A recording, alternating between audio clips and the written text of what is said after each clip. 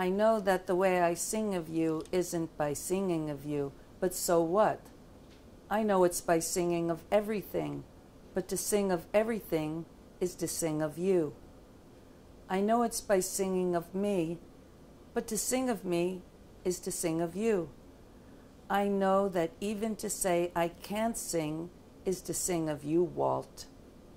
To sing of you, to salute you, I'd have to write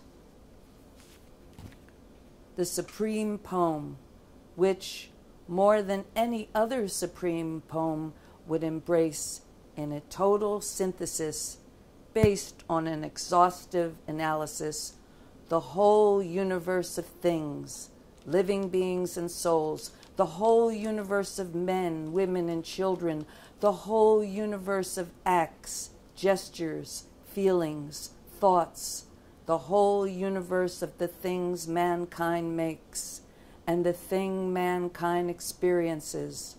Professions, laws, norms, medical science, fate, written this way and that, constantly crisscrossing on the dynamic paper of events, on the quick papyrus of social groupings, on the palimpsest of continuously renewed emotions for me to salute you, to salute you as you should be saluted, I need to make my verses into a steed, a horse, make my verses into a train, make my verses into an arrow, make my verses sheer speed, make my verses the things of the world.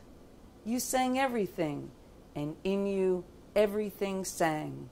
Magnificent, whorish receptivity of your sensations with their legs wide open to the outlines and details of the whole universe. Thank you so much. Wow. That was incredible. Thank Sorry you, about the really. blow. No, no. this is the first time you read Yes.